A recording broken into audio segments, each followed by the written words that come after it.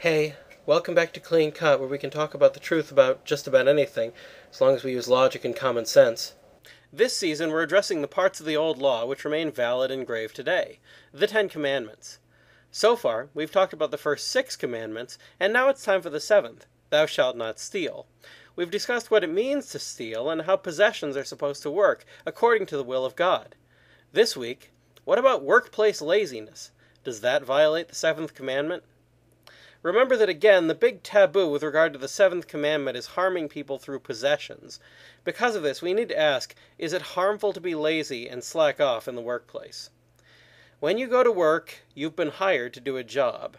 There's a deal between you and your employer, sometimes informal, but usually formal, as in the case of a contract.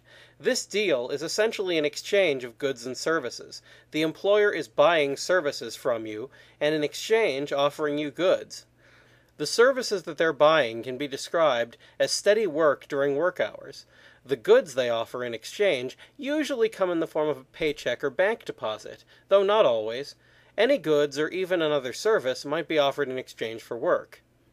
Because of this, if you enter into this contract but then slack off on the job, you're taking the goods offered by your employer but not giving them what you agreed to in exchange. Therefore, this can essentially be considered the same as cheating someone, with one slight difference. Sometimes, when you cheat someone, you might do so in a way that they wouldn't consider particularly harmful. When you're employed, the employer clearly considers the position important enough to not only hire someone, but to process all the needed paperwork and go to the trouble of paying out money for the job. So even if the employer were incredibly rich, it would still be dishonest and harmful to rob them of the services they've paid for. Because of this, deliberate laziness at work is more likely to violate the seventh commandment than the other forms of cheating are. In the same way that these things can be said about workplace laziness, they can also be said about violating other forms of contracts, business or otherwise, unless, of course, you find yourself morally obligated not to obey the terms of the contract. In those cases, though, it's better to simply quit the contract than to cheat the person on the other end. Next time, what about wastefulness? What is it? Is it against the seventh commandment?